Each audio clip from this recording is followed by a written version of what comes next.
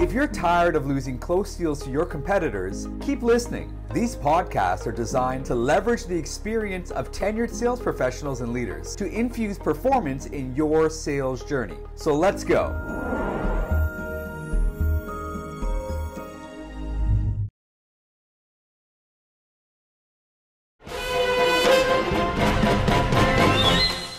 There are absolutely strong similarities between the entertainment industry and sales. To perform or inform? That is the question. We have the privilege to sit down with Canada's own Chantel Riley. As a renowned actor, singer, dancer, and entrepreneur, her journey will inspire and keep you moving past the moments where the average person stalls. A few years back, she performed the Canadian national anthem at the NBA's All Star Game. Take it to the skies.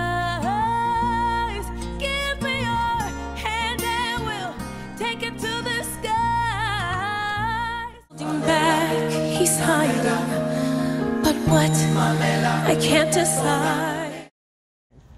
Well, not only are we uh, uh, proud of you, but I'm sure Canada's proud of you. I hope so. When you have the ability, and look at you on Canada Day wearing the colors already. Oh, that's right. There you go. And that was on purpose.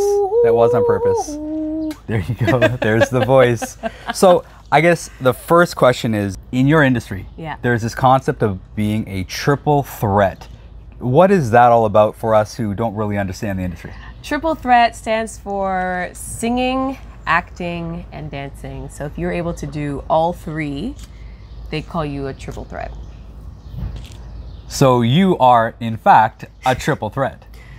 I mean, I, Hey, I guess? Uh, you used to not only tap dance and do other forms of dance, but you actually taught it as well. I did. Okay. I did. So can you tell us about that passion? Because I, uh, from what I remember, it was a passion of yours. Yes, it was. Uh, grew up dancing, started dancing when I was three. And um, once I got old enough to start teaching at church, I started teaching some of the kids there and just started a little dance program. Um, and started teaching ballet and, and tap. Um, and I loved it. We even had like a little recital and stuff too, where the kids got to perform in front of their parents and the congregation. And it was it was an amazing time. I loved doing it. And I used to do dance performances myself and Okay. like church plays and all that stuff too. And uh, yeah. Isn't that how Beyonce got her start? yes we and know, no, I guess. We know where you're headed, Chantel. All right. Queen Bee, we just got to find you a Oh, Jay Z. God. All right, all right, all right. Before I get to what's next, I want to talk about what was. Can you describe what was going on in your head when you're on a flight from Toronto going to Germany, God. knowing that the entire uh, script would be in German? Yeah. your songs would be and you have to learn this new culture language Mm-hmm. and you're probably competing against other people for this role that are native to the language that Mm-hmm. and you figured you had enough nerve How dare. to get on a plane How can you take us through your How head dare. Who and, am I? and and, and and if you can, uh, obviously we know how it ended out, how it turned out, but can you describe that? What was going on in your head? Uh, I was like, what the hell? I tricked them or something. I don't know. But I was a lot of things. I was excited. I was scared. okay. I was like, do I really deserve this? Like, I, I later learned that, you know, when Disney's auditioning, uh, Disney Theatricals auditioning, they literally go all over the world Wow. and hold auditions. So they'll come to Canada, they'll go to, you know, parts of Europe, they'll go to Africa, they'll, you know what I mean? Like, and they audition looking for their next whoever. And so when that said it, when I heard that, that's when I was like, what the heck? What is this all my life that I'm able to have this moment? Um, but I don't know, it just goes back to, well, favor, God is good, and what's for me is for me. So you were able to jump on a plane, go to a foreign land, Yeah, seriously. different language. Yeah. I'm sure the food was good though. Hey, food is pretty good. I can't lie. Okay, I'm sure the food was good. I can't lie Uh, people, from what I uh, understand, were good to you and it was a good experience. Some Yeah, friendships that, family, yeah. that lasted, Yep. uh, that you probably still stay in touch with. Absolutely. Uh, what will you take of that as you venture on to new things? And what is on the horizon for Chantel Riley? For me, that gave me, I felt like some new kind of superpower to make me feel like, oh, I could do whatever I want. And you did, because there's no bigger stage for Disney, for Lion King, Yeah. than in New York City. On the Broadway stage. So now you've transitioned to New York City, Yes. Broadway. Yes. bright lights, Yeah. big city. Didn't know what the heck I was, I didn't know nothing but nothing there either. Uh, their basketball team team needs a little bit of Oh, help. oh, God, right, I know we can say that now because we are NBA champions. And Still. still, even after the bubble, hey, whoever wins the bubble, big asterisk. No, no asterisk. A big bubble beside this year's champion, unless it's the Raptors, of course. Of 'cause- course, of course, of course, Right, of course, but like course, any of other course. team, you're in New York City. Yeah. A lot more exposure. Yes. What were you hoping would happen to your career by being in New York City? I mean, I feel like with anyone, they hope they blow up, you know? Okay. And, you know, you hope you get the billboards and you hope you get the. Hold on, hold on, hold on, hold on. Let's talk about billboards just for a moment. For a second. As a matter of fact, let's just show you a quick clip right now.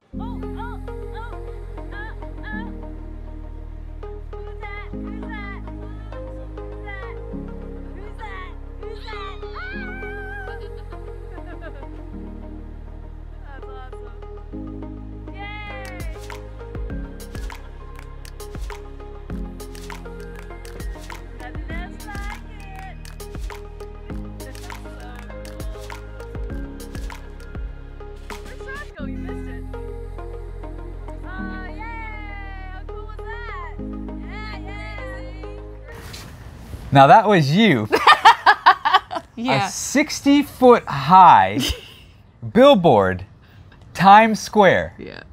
And then seconds out, I don't know if we caught it, but just seconds later, a bus goes by. Oh, shoot.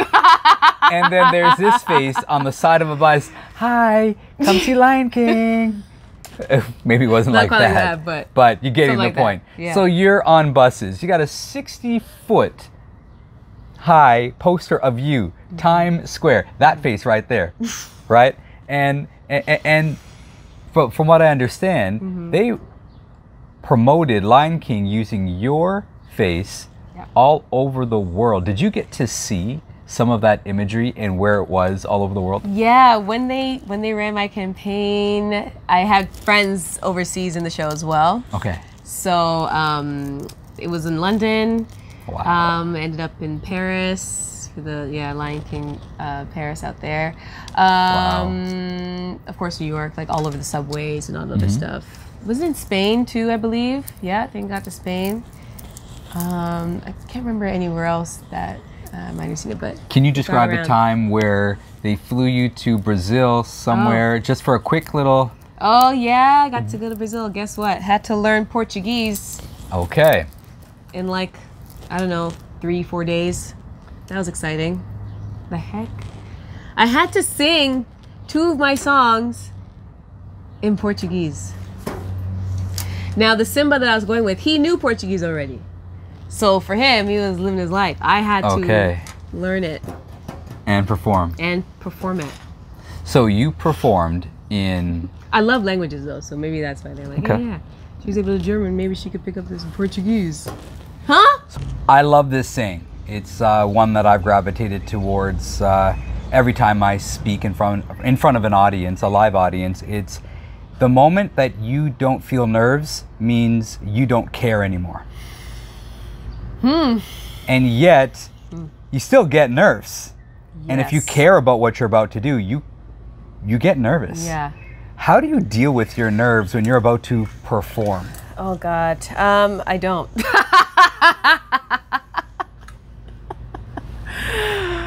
no, seriously. Like I just do. I I can't deal with them. They, sometimes they just take over, but there's nothing else you could really do but push through them. If anything, I kind of use it um, as like an adrenaline rush kind of thing, and For me, uh, I, I pray and meditate before I hit the stage, you know, but sometimes that doesn't work right away. But it's something about being in the moment and, and feeding off of that nervous energy Okay. that allows you to kind of push through it all together and allow you to really sit, uh, you know, sit in your in your place in your character or any kind of performance you're you're trying to do.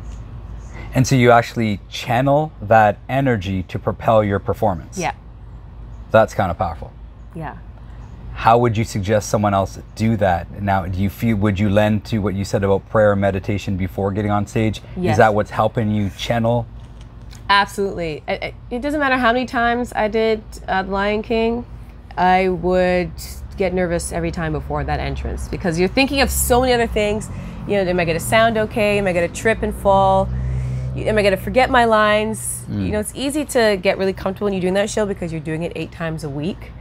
Um, but there's still something about that first entrance or your first solo performance that it's something still triggers it. So what I would normally do is just say a quick prayer and just pretty much just say, you know what, this is not about me. This is for the audience, for them Okay. to enjoy, for me to be able to tell the story so that they can relate in some kind of way and Okay. take something something from it. And so that kind of helps me shift my energy into being like, this is not about me. This is for them.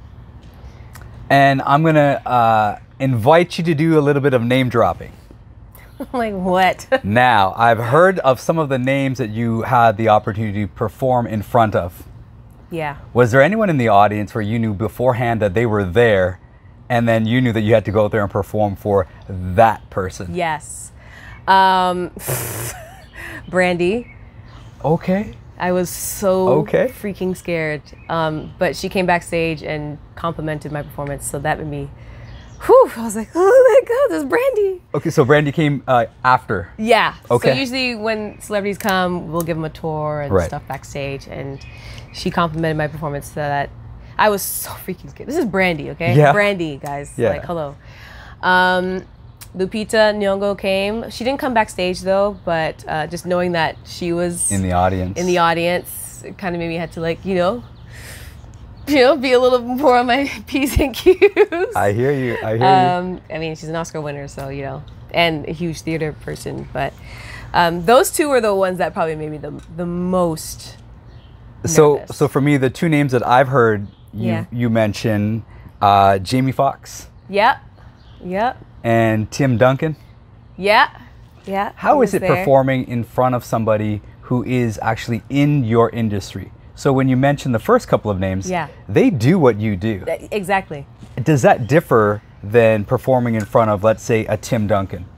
Yeah, it's definitely different because they're in a totally different industry, and um, but look, I don't think he gets nervous if I come to watch him play basketball. like you know what I mean? okay. So because he knows he he does what he does, and he does it well, and he he knows he can do better than me. Okay. Um, so when you are performing in front of people that are in the same, like you know, they are your colleagues essentially. You know what I mean? It's um, it's a little more it's a little more nerve wracking. You know, it's kind of competitive a little bit, but it's good competition to me. I think.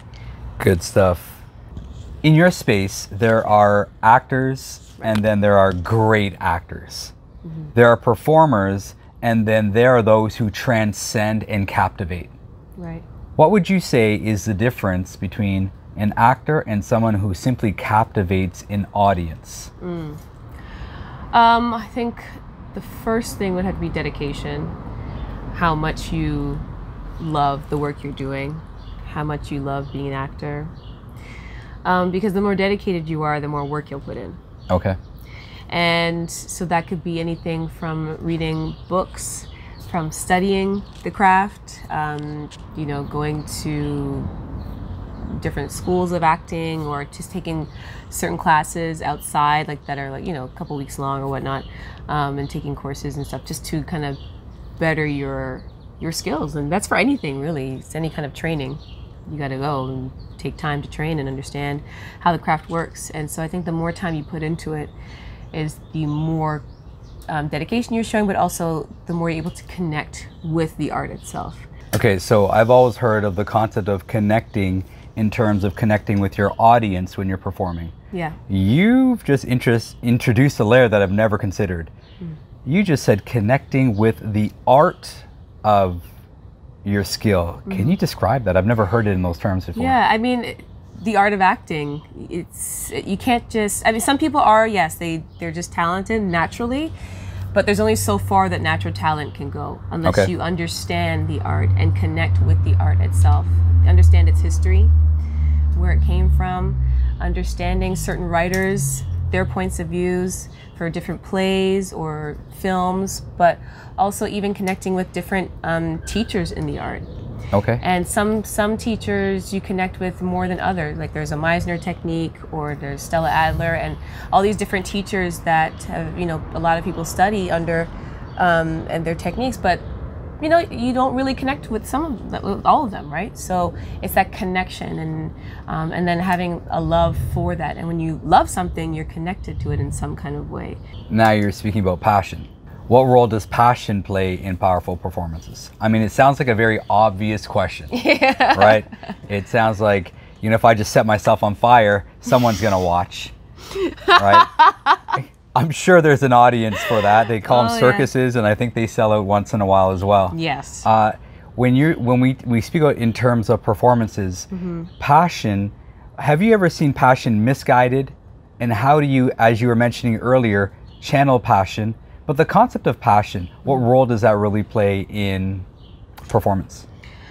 Well, I feel like with passion, it's really important because if you don't have a passion for it, then your performance is not going to be up to par or matching it. So, I mean, I've had moments for myself where I even questioned whether or not I liked doing what I do anymore because wow. I felt like my passion was was dwindling for it at Wow. one point. Um, and so what happened then, and this is kind of when I was first starting out because it was all new to me and I didn't really understand the art it's, itself yet. Um, and so because my passion was dropping for it, my performance was dropping as well. Really? Mm-hmm.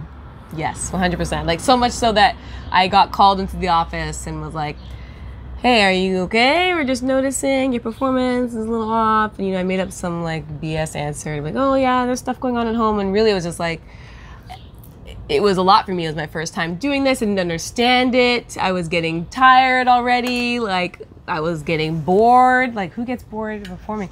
But it wasn't until I was able to understand, you know, first of all, the opportunity that I was given to do. Um, with myself not having, you know, the professional experience or like the schooling to study, you know, theater and to be on stage, So what I would love to do is triangulate this. triangulate. Yes. All right. Let, let, let's complete this triangle here. Okay. And we're going to go on a, a P theme here. We have performance. Yes. We have passion. Yeah. Now you're completing the circle for me. Mm. You're using another word. You're saying being a professional. Can you lean on your professionalism to feel performance even when your passion isn't as hot as you would want it to be? Mm. and what if all three are firing? Oh, What happens then? you're unstoppable. Have you had those moments of being so in sports? Mm. Uh, they'll talk about being in the zone Yes. where you don't hear the you don't hear the crowd you don't you just know the ball's in your hand basketball specifically you're gonna shoot your shot and you know what's going on you're in the Yes. zone you're not missing anything Yeah. have you experienced the zone and what does that have to do with triangulating your passion a Yeah. performance and being a professional Um, I've definitely had those moments where I just knew I was on.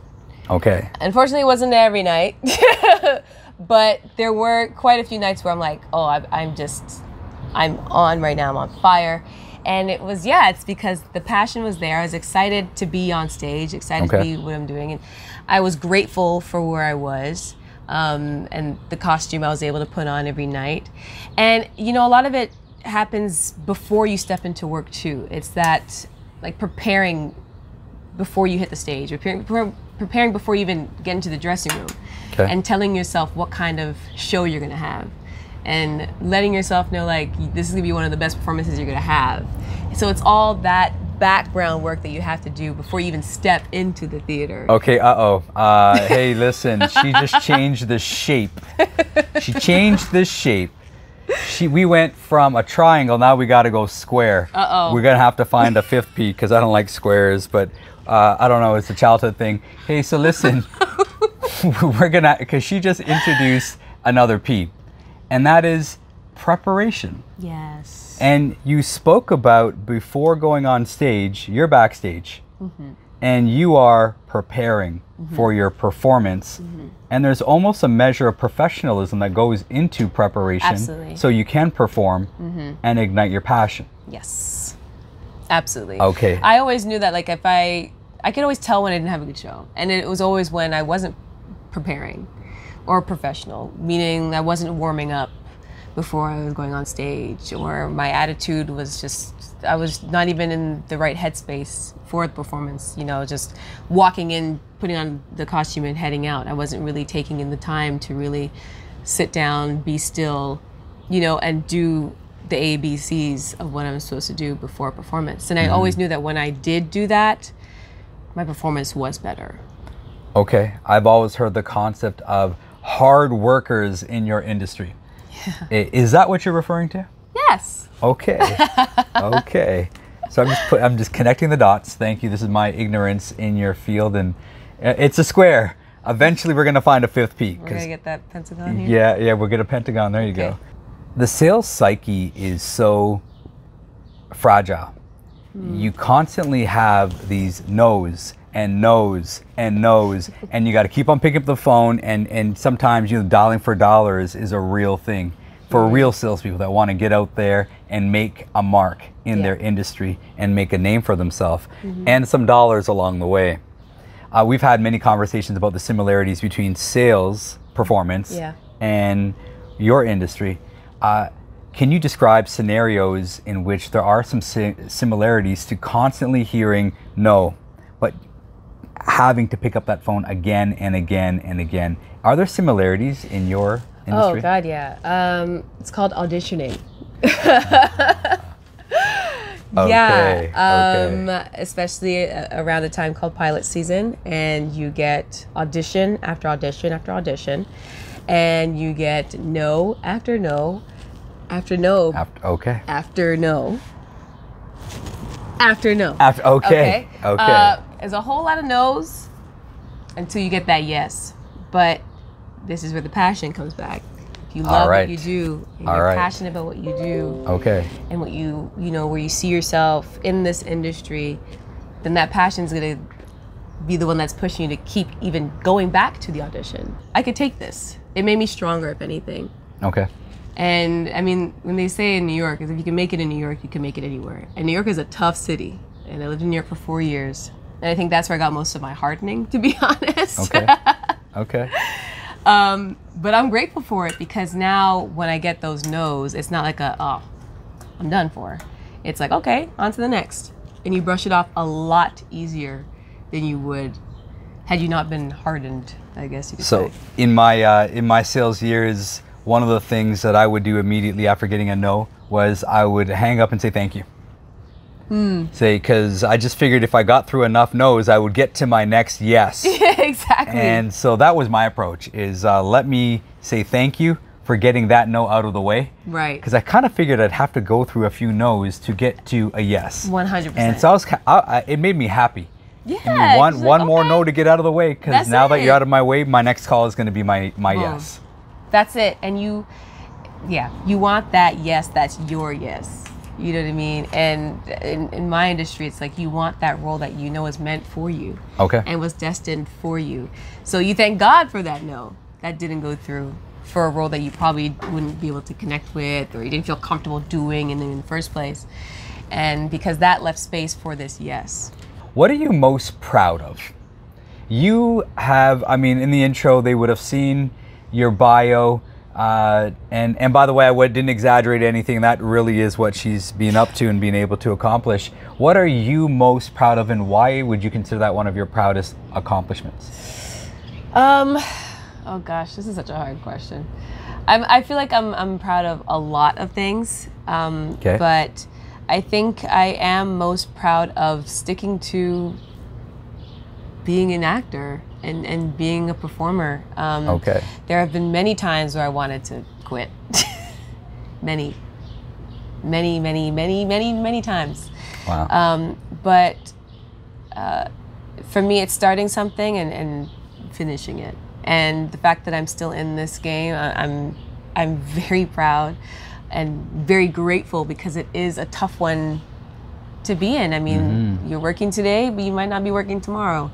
You know, and so far for the past few years, I've been working consistently, and not only that, I've I've been loving it still, and have still you know still doing it. And so, I think for me, the biggest accomplishment is still being able to call myself a, performer. And, and that is the fifth P for us today, and that is uh, a measure of pride. And when you take pride in your work, you're going to perform. Absolutely. Because you want to be professional about it. You want to bring your passion Absolutely. every time you step foot on that stage. Thank you for making it into a pentagon because we don't deal with four pointy object or uh, I'll have to edit that out. Yeah, that didn't work. Okay, as we build up to you you receiving your Oscar, Sure. Okay. is that one of your driving forces or what is it that propels and drives you? Um, from honestly, for me, at one point, yes, it was. I want to get that Oscar. You know, I want to get that statue that proves to the world that I am good at what I do. But mm-hmm. I'm learning more and more now that I don't care. If it comes, it comes. But for me, it's just again, it just goes back to the passion. Is the idea of I get to do this. This is my job. And how grateful I am. And not only that, but getting better and better every time that I do it. Okay. It's working with other artists that are able to feed into me and help me grow and help me, you know, study my craft or sharpen my whatever, my skills. And so for me, that is like, that's what excites me. Okay. Um, of course, getting a little recognition for it is nice. I would say so. I mean, I would take an Oscar if they're gonna give me an Oscar, honey. that was worth no, maybe. yeah, you're right. You got a little bit of work to do. Okay, all right. Hey, all right. Oh, okay. Now she's gonna get into action movies. Okay. Uh, so what's next for Chantel Riley? What's coming up? What are you excited about? I'm excited for our fourth season of Frankie Drake Mysteries. I'll be returning Hey. as Trudy Clarke. So that's really exciting. Um, we're supposed to be uh, start shooting in the fall. Hopefully that happens, with of course, with the global pandemic happening. But um, there's that. I'm looking to produce my own show, so stay tuned for that. Um, and Well, so this is uh, I might be stealing your thunder, steal it away. but I'm really excited about uh, your ability to babysit kids. now I'm going somewhere with Okay, this. yeah, um, I'm not going to age myself here, but you might know a couple of our, uh, a couple of the kids around that we both know. How old are they again? Well, let's move on from that. let's move on from that. The Oh, uh, no. i- i- there, there's an affinity for you when it comes to kids, Love them. and that has. Now I know that you were involved with a few different clothing lines before, Yes. But there's a project that you're working on right now. Yes. Can you tell us a little bit more about that? I have launched my children's boutique called Sweet Riley, and it is clothing for ages three months to five years. And uh, yeah, I'm really excited. I, I have a new nephew now, and so he kind of inspired me because I spoil him rotten already, and I have a goddaughter in LA that I spoil like crazy and just like to buy them clothes. And I'm like, wait, why don't I clothe them myself? I like kids' clothes. I like clothing and fashion. So why not? So I, I started the clothing line Sweet Riley. And if you look down right there, you'll see the link. Uh, check them out. Get your gear there for your little ones. I have an EP that's out right now called I Am, and you can stream it on every single platform you can imagine. I'm on the Spotify's, I'm on mm-hmm. the iTunes, mm-hmm. and the Apple Musics, and the Google Plays, and the YouTubes, and all that stuff. So please, please, please take a listen and enjoy. And that was called I Am. I Am. Mm-hmm. All right. Thank you, Chantel.